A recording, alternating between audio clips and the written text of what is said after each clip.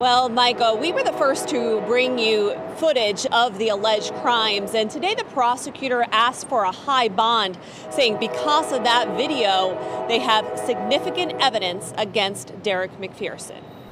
It was a brazen kidnapping attempt in broad daylight that left a six year old screaming for her parents.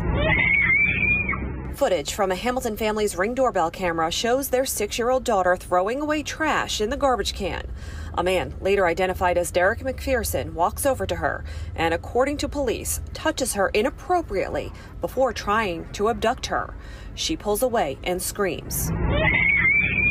Today, First case, Your Honor, State of Ohio versus Derek McPherson. McPherson appeared in a Butler County courtroom where he has been indicted on two counts of abduction and unlawful restraint and one count of gross sexual imposition. McPherson entered a plea of not guilty, said very little besides. I just have questions about the charges, what they mean. Judge Michael Oster advised him to get clarification from his attorney.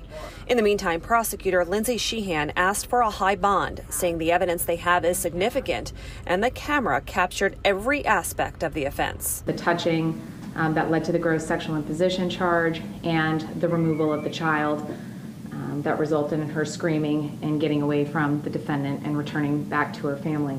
After the little girl ran to her mom and dad, they called 911. As soon as I walk outside, uh, the guy took off running. I've been following him since. Video obtained by WLWT from Terry's Automotive shows the lengths this child's father went to make sure he didn't get away. He just went inside this fence. Eventually, the girl's father found McPherson hiding in a minivan behind a business on Route 4.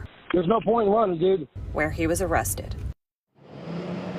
And this afternoon, Judge Michael Oster set McPherson's bond at $75,000 cash. Reporting live tonight in Hamilton, Karen Johnson, WLWT News 5.